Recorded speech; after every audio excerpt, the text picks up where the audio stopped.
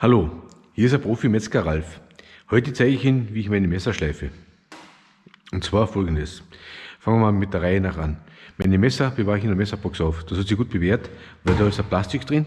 Und wenn die Messer drin sind, Sie können die Schneiden nicht kaputt machen. Wenn Sie das Weine geben, machen Sie die Schneiden nicht kaputt, der Plastik drin ist, man kann das zumachen. Nur beim langen Messer, also ein 36er Messer, geht es nicht. Nur bei kurzen Messern bewährt sich das einfach. Was habe ich jetzt da für eine Messer?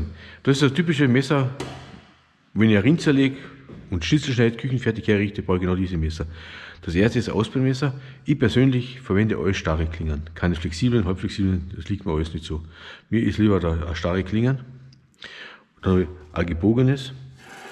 Mein Messer, wenn Sie ein Messer kaufen, kaufen Sie wirklich eines von namhaften Firmen. Gießer, Dick, Victorinox, wie gibt es da noch? Swibo. Das sind alles hervorragende Messer. Kosten auch nicht die Welt. Also ein Messer kostet 12, 13 Euro. Das da, das Messer brauche ich zum Ausschneiden, zum Zuschneiden. Da brauche ich bei Zuschneiden müssen immer ein bisschen länger als Messer nehmen. Das, wenn ihr kurzen kriegen, kann, kann ein schöner Schnitz haben. Das ist das Swibo-Messer. Super. Und das da ist ein Schnitzelmesser oder Sägschneiden. Hat eine Klingen von 36 cm. Wenn Sie dann bei der Nummer schauen, hinten letzte Zahl, das ist immer die Klingenlänge. Victorinox ist ein Schweizer Messer, kostet zwar bei die 50 Euro oder was, aber für Schnitzelschneiden super geeignet. Und was ich da noch habe, das ist ein Messerschärfer, da gibt es mehrere Ausführungen, das ist einer von Dick. Was bei dem immer das Problem ist, wenn sie runterfallen, brechen sie gerne ab, sonst das ein Zopfen, der bricht gerne einmal ab. Zwar hat er eh lang gehalten, aber bricht neu. Funktioniert immer noch voll funktionstüchtig. An Stahl habe ich nicht mehr. Ich nehme eigentlich schon jahrelang das Gerät. Jetzt beim Schleifen.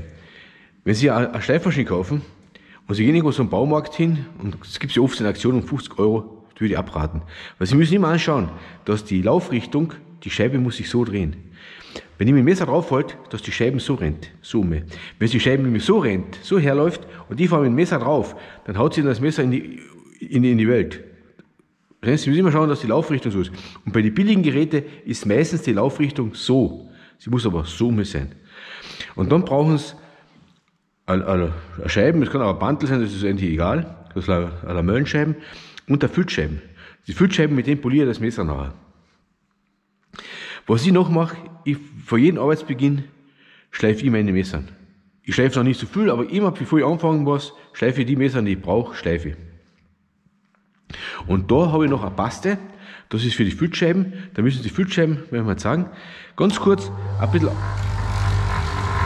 so, das reicht schon. Das habe ich schon drauf. Dass was ist, wenn die Füllscheibe so trocken ist, kannst du nicht richtig polieren. Und um, die, um das Maschinchen, was ich habe, das habe ich mir gekauft in einem berühmten Aktionshaus. Das hat 160 Euro gekostet. Für Messer ist es ausreichend. Wenn Sie jetzt eine Hacke oder ein Beil schleifen wollen, ist der Motor schwach, weil die hat gleich 300 Watt. Aber für Messern ist das vollkommen genug. Reicht das. Ich schleife damit schon vier Jahre. Jetzt will ich noch was sagen. Wenn, wenn ich, früher hat es immer geheißen, der faulste Metzger hat die schärfsten Messer. Das hat schon einen, einen Sinn. Nicht, weil er es nicht arbeitet, weil es beim Messerschleifen Zeit nimmt. Es nutzt gar nichts. Ich höre meine Kollegen, wenn einer ein Messer schleift, ich höre schon, ob das Messer schneiden wird oder nicht. Da geht's Druck drauf, die Funken fliegen, das ist, bringt alles nichts. Sie machen nur das Messer kaputt. Sie müssen nur ganz sachte drüber fahren, ganz ein bisschen abnehmen, das reicht. Und dann zwei, dreimal abziehen und das war's. Ich sage Ihnen das jetzt. Ja, mit dem Messer habe ich angefangen. Und noch was ist, jeder schleift sein Messer ein bisschen anders. Ich schleife zum Beispiel für einen anderen Metzger die Messer nicht ganz so gern, weil jeder hat ein bisschen einen anderen Winkel. Wenn Sie mich heute fragen, welchen Winkel ich habe, ich weiß es nicht. Ich weiß nur eines, meine Messer schneiden. Ich werde mal zeigen, wie ich das mache. Nehme ich her, jetzt fahre ich so, ganz sachte drüber. Ich tue nicht mehr. Ganz langsam, nicht zu draufdrucken. Es brauchen keine Funken fliegen.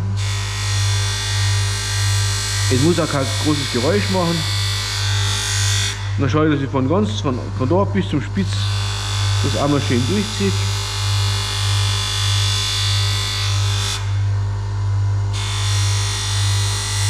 Ich nehme nicht viel weg. Jetzt fühlt sich ganz ein leichter Grad.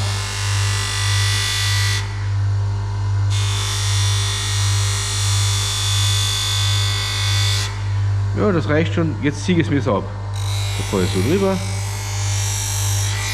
ohne Druck, ganz leicht. Wie du verstehst das jetzt? Die Scheiben läuft so. Wenn sie jetzt so rennen würden, die würde so drauf fahren, um Gottes Willen, was da los ist.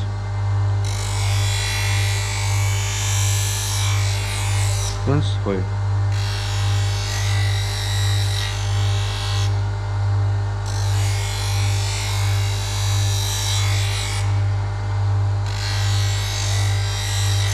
Jetzt, ich will das fahren mit dem Messer so drüber, dann machst du den Fingernägel kaputt. Wenn sie das machen, fahren sie so. Und da spüren schon, ne? da spüren nichts mehr. Das ist sauber. Das, ist, das, ist, das Messer schneidet. Dann ziehe ich es noch zwei, dreimal ab.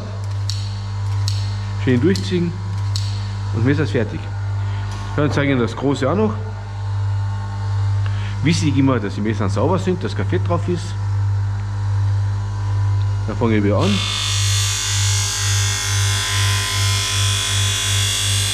Und bis zum Spitz.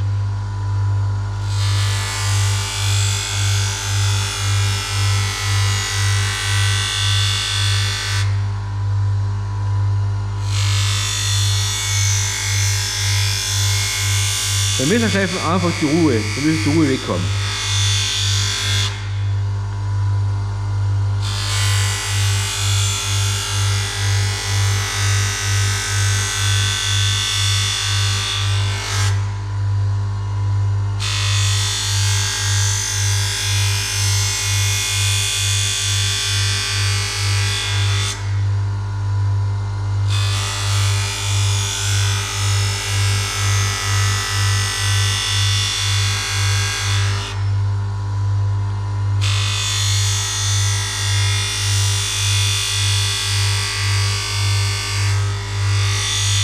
Aufpassen, dass die, die, das Messer nicht, nicht heiß wird. Wenn es heiß oder blau wird, dann ist es enthärtet. Dann ist mit, kannst du das Messer wegschmeißen.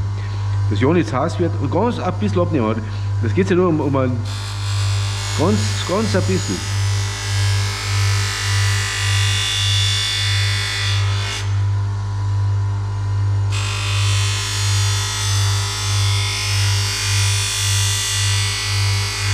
Das reicht. Jetzt fahre ich wieder mit der Rückscheiben. Entgraten.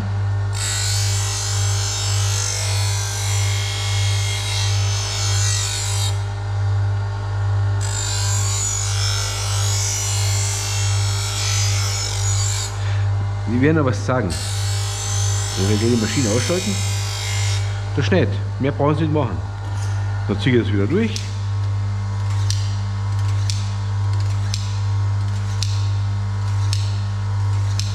Bis er schneidet. Schauen Sie, da wäre ein Kollegen.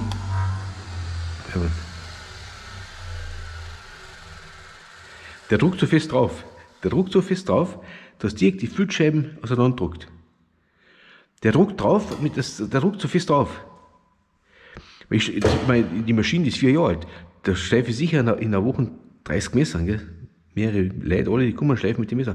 Aber der druckt so drauf, dass direkt die Füllscheiben gedruckt ist.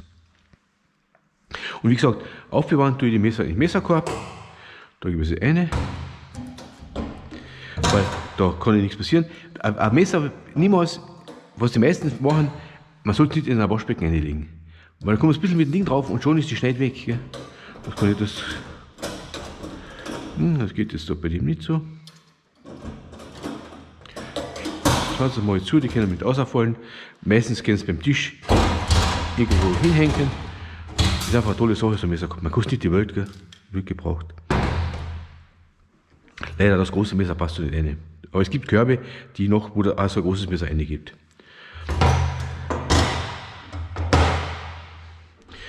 Sollte Ihnen das Video gefallen haben, bitte abonnieren Sie mich, Daumen nach oben. Sie können auch Kritiken schreiben Anregungen, natürlich. Bis zum nächsten Mal. Ihr Profi-Metzger Ralf.